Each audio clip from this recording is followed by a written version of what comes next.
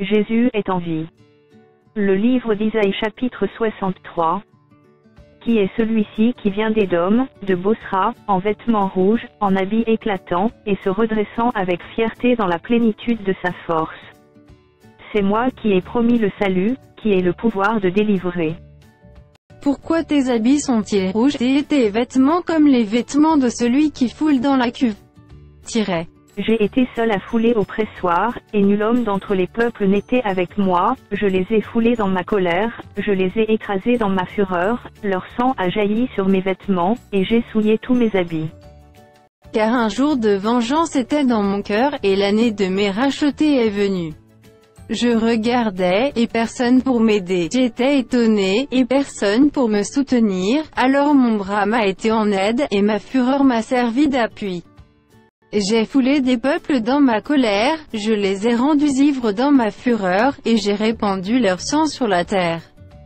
Je publierai les grâces de l'Éternel, les louanges de l'Éternel, d'après tout ce que l'Éternel a fait pour nous, je dirai sa grande bonté envers la maison d'Israël, qu'il a traité selon ses compassions et la richesse de son amour.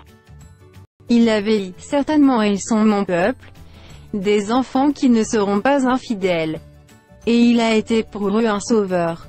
Dans toute leur détresse ils n'ont pas été sans secours, et l'ange qui est devant sa face les a sauvés, il les a lui-même rachetés, dans son amour et sa miséricorde, et constamment il les a soutenus et portés, aux anciens jours. Mais ils ont été rebelles, ils ont attristé son Esprit Saint, et il est devenu leur ennemi, il a combattu contre eux. Alors son peuple se souvint des anciens jours de Moïse, où est celui qui les fit monter de la mer, avec le berger de son troupeau.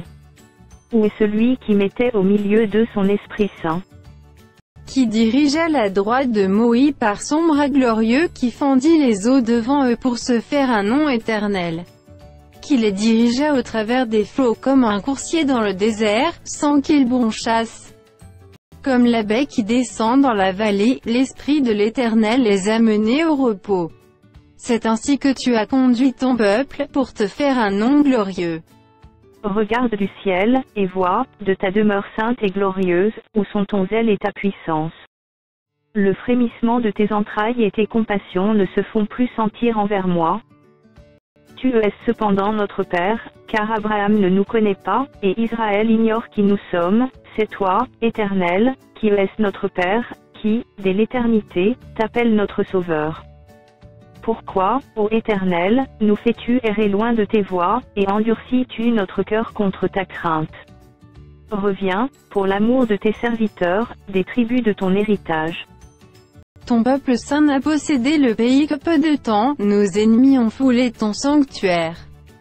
Nous sommes depuis longtemps comme un peuple que tu ne gouvernes pas, et qui n'est point appelé de ton nom.